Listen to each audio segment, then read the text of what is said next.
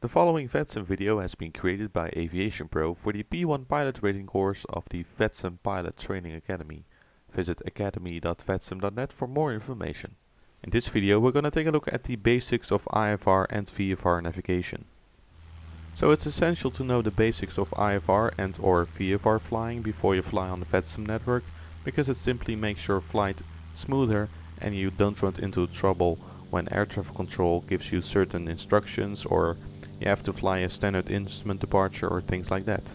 Now since most people who join VATSIM for the first time fly IFR, we're gonna take a look at some of the basics of IFR flying first. Now flying an airliner on the VATSIM network is probably the form of transportation that is most seen on the VATSIM network, so we're first gonna start with the flight management system. We've discussed this before in the video about how to get started on the VATSIM network and that it's wise to have a, one of those payware products with a flight management system because the flight management system allows you to navigate through the virtual skies much easier. Now of course it depends on the aircraft type how the flight management system works uh, and the flight management computer that you can see here might be different depending on the aircraft type too. So you have to do some studying in order to really get to know how that thing works. So make sure you study well in order to get uh, comfortable with using the FMC.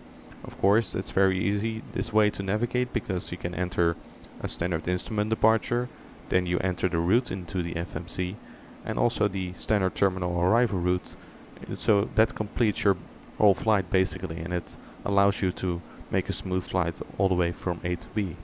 When you have fully programmed your FMC you can use one of the modes on the mode control panel of the airliner in order to follow the lateral route and also the vertical route using either for example in this Boeing 737 LNAV or VNAV or one of the other modes that are available. Now inside the flight management system there's a huge database with all the waypoints and the standard instrument departures and standard terminal arrival routes and this is called the AIRAC data. Now the data changes over time, every month there's a new set of AIRAC data that you can download on the web and install to your add-on aircraft in order to have all the latest waypoints and procedures. And by updating this data you're always sure that you have the latest waypoints and procedures for your airport you're going to fly from or to. Now make sure you have at least a good updated version of AIRAC. Uh, usually when you buy a new product you will get one of the latest AIRAC data and of course you don't need to update it every time. Usually the changes are very small but if there's a huge change in one of the airports you regularly fly from or to it's wise to update the AIRAC data. And this makes sure that everything is up to date. So now that we took a quick look at the FMS and the FMC of airliners, Let's go back to the very basics of IFR flying and that is VOR navigation. Now VOR stands for VHF Omnidirectional Range and is basically a station on the ground that allows aircraft to fly to or from and also measure the distance from that station. Now you might have seen one of those stations if you drive on the highway or near airports for example and in the old days when there was no GPS yet pilots used those stations in order to navigate through the skies. Now even though we have fancy GPS systems nowadays, VOR stations are still being used in order to fly to them and also in general aviation airplanes without GPS systems in order to fly IFR. Now one of the most common ways of the VOR station being used is to fly to that station uh, when air traffic control is vectoring for you for example. So we're just going to take a quick look at how to fly to a VOR station. So welcome into this Beechcraft Baron. We're flying now along the coast of Australia and we're gonna tune in the frequency of this VOR station that you can see on this chart. And we're gonna take a look at how to navigate to this VOR station very quickly. So we're just gonna tune it into one of the navigation radios right here. Frequency is 140.6 and as you can see on the navigation display this needle starts to move. And this is the needle basically that shows you how to get to this VOR station. So what you have to do is turn that needle and wait until the, the this indicator moves, the lateral indicator. So as you can see it now starts to move and this is basically a radial that we can intercept in order to fly to this VOR station. So as you can see we have to fly to the west, uh, roundabout to the west in order to intercept this radial. So we're going to do that now. And as you can see, as we make the turn, uh, the needle starts to move further because of course we're flying uh, uh, not all the way to the to the west yet. So we're gonna have to uh, make a little bit more of a correction to the right in order to fly direct to this VOR station.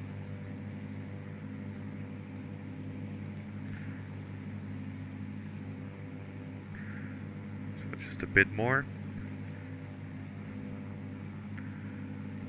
And then as we intercept this radial, this 270 degree radial to uh, this VOR station, we are flying direct to the VOR station. Now of course when you're flying an airline you can basically do the same.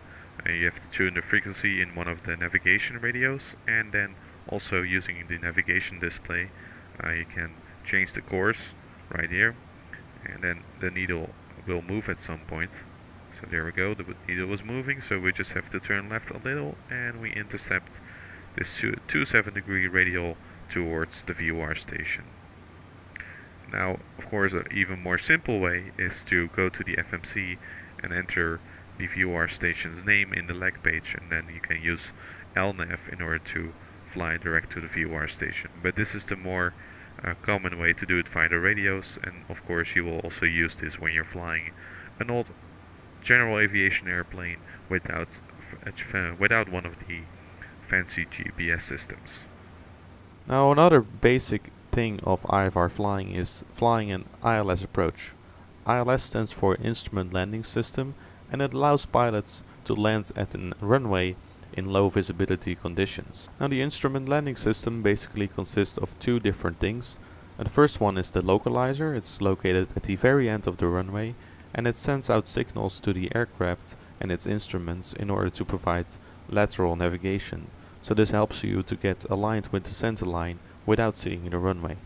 Now the other part is the glide slope antenna. The glide slope antenna also sends out signals to the aircraft but then orientated vertically and this is of course for the vertical navigation for the aircraft. And this allows the pilot to make a smooth glide all the way from a certain altitude all the way down to the touchdown zone. Now just like flying direct to a VOR station, flying an ILS approach is one of the very basics of IFR flying, so we're just gonna take a quick look at how to do this. So we are now in a Boeing 737 cockpit in an airliner, and for an ILS approach you basically have to do uh, the same things as for a VOR, direct, flying direct to a VOR. You have to tune in the frequency of the ILS, which is stated on the charts and you also have to set the inbound course uh, to the runway, uh, which in this case runway 16 is 161 degrees.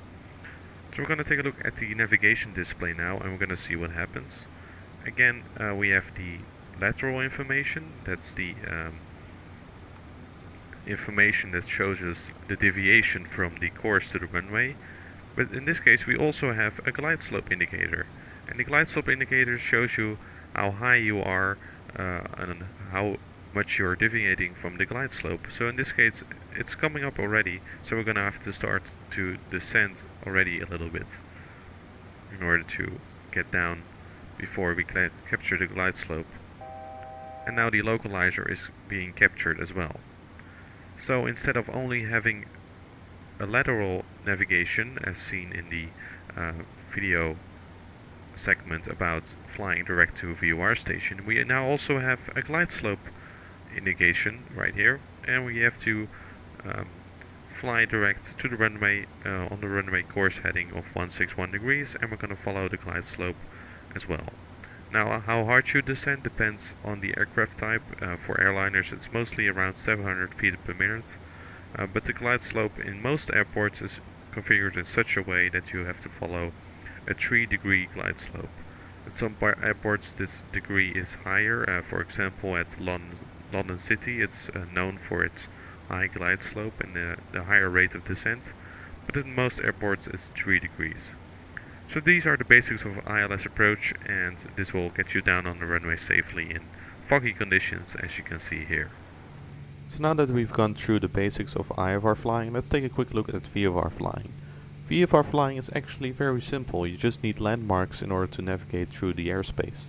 Now using a photoreal scenery in Flight Simulator is ideal because it allows you to navigate much easier and you will be able to recognize buildings and highways a lot easier than with the default scenery of Flight Simulator.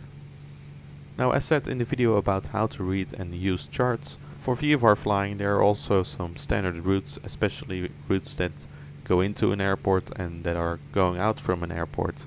And you have to follow those routes just using the landmarks and usually this is a highway or a row of buildings or electrical masts, things like that.